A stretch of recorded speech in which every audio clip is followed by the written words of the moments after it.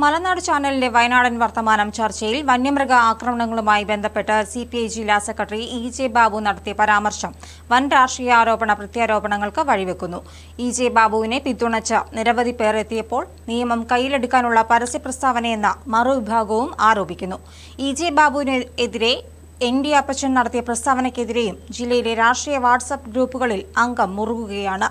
വന്യമൃഗശല്യത്തിനെതിരെ നടപടിയെടുത്തില്ലെങ്കിൽ പൂർവികന്മാർ കാണിച്ചു തന്ന ചില പ്രയോഗങ്ങൾ വന്യമൃഗങ്ങൾക്കെതിരെ നടത്തേണ്ടി വരുമെന്നായിരുന്നു ഇ ജെ ബാബുവിന്റെ പരാമർശം.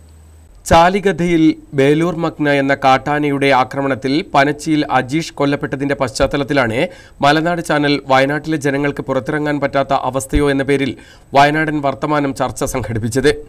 ചർച്ചയിൽ എൽ ഡി എഫിനെ പ്രതിനിധീകരിച്ച് പങ്കെടുത്ത ഇ ജെ ബാബുവാണ് വന്യമൃഗശല്യത്തിനെതിരെ നടപടിയെടുത്തില്ലെങ്കിൽ പൂർവികന്മാർ കാണിച്ചു തന്ന ചില പ്രയോഗങ്ങൾ വന്യമൃഗങ്ങൾക്കെതിരെ നടത്തേണ്ടി വരുമെന്ന് പറഞ്ഞത്. ഈ അഭിപ്രായമാണ് ഇപ്പോൾ വിവാദമായിരിക്കുന്നത്. ഞങ്ങൾ ഞങ്ങളെ പഠിപ്പി ഞങ്ങളുടെ പൂർവികർ ഞങ്ങൾ ചില കാര്യങ്ങളൊക്കെ പഠിപ്പിച്ചിട്ടുണ്ട്. ഇങ്ങനെയുള്ള ഉപദ്രവകാരികളായ മൃഗങ്ങളെ എങ്ങനെ കൈകാര്യം ചെയ്യണമെന്ന് ഞങ്ങളുടെ പൂർവികർ ഞങ്ങളെ പഠിപ്പിച്ചിട്ടുണ്ട്. അത് ഞങ്ങൾ ആരും അറിയാതെ അങ്ങ് ചെയ്യും. അത് വേറെ കുഴപ്പമൊന്നുമില്ല. ഇ ജെ ബാബുവിന്റെ പ്രസ്താവനയ്ക്കെതിരെ D C C president N D അപ്പച്ചനും ബി ജെ പി ജില്ലാ ജനറൽ സെക്രട്ടറി പ്രശാന്ത് മലവയലും പരസ്യമായി രംഗത്ത് വന്നു.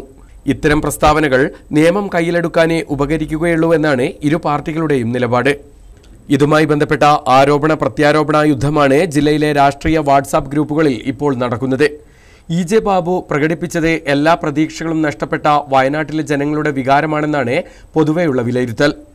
D C C president N D അപ്പച്ചനും ബി ജെ പിയും ഇ ജെ ബാബുവിന്റെ പ്രസ്താവനയ്ക്കെതിരെ പ്രതികരിച്ചതിനും രാഷ്ട്രീയ ഗ്രൂപ്പുകളിൽ വൻ ചർച്ചയ്ക്ക് വഴിവെച്ചിട്ടുണ്ട്. നിങ്ങളുടെ നേതാവ് മരിച്ച വീട്ടിൽ പോയോ എന്നിട്ട് മതി മൈക്കിലൂടെ കീറലെന്നും ചോദ്യം ചെയ്യപ്പെടുന്നുണ്ട്. കോൺഗ്രസ് നേതാവ് ജയറാം രമേശ് വനം പരിസ്ഥിതി മന്ത്രിയായ കാലത്താണ് വയനാട് കടുവ സങ്കേതമാക്കിയത്.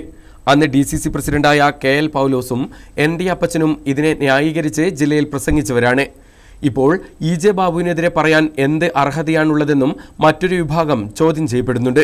അതിനിടെ ഡി സി സി പ്രസിഡന്റിനെയും ബി ജെ പിയെയും അനുകൂലിച്ചും നിരവധി പേർ രംഗത്തെത്തിയിട്ടുണ്ട്.